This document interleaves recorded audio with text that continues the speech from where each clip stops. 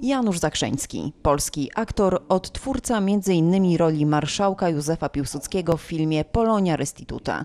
Zginął w 2010 roku w katastrofie smoleńskiej.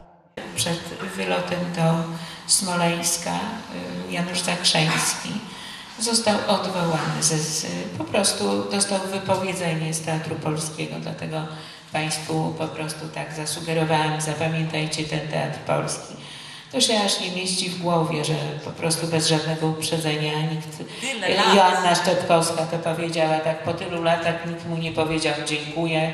Na zaproszenie Anny Zapaśnik-Baron Ostruda gościła Lidię Stanisławską.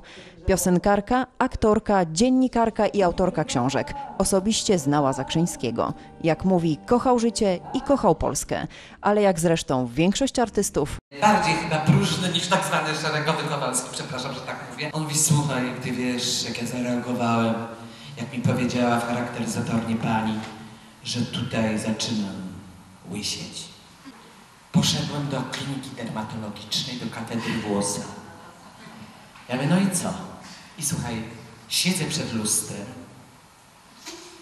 a taka piękna, mówi asystentka w białym fartuszku, wyrywa mi ten włos stąd i pod mikroskop i mówi takie rzeczy. Mm, o, panie Janusz, u, u, u. I w tym momencie wchodzi do tego gabinetu szef katedry e, włosa, że tak powiem, do, docentem będąc, e, wielka tam, wielki autorytet i mówi, panie Januszu, panie Januszu. I w tym momencie Janusz oderwał wzrok od lustra i spojrzał na tego e, w randze docenta, le- lekarza onego, a tamten łysy, słuchajcie, jak koczak. zaduszkowe wspomnienie to także mała prezentacja własnej osoby. Miłość to ogień,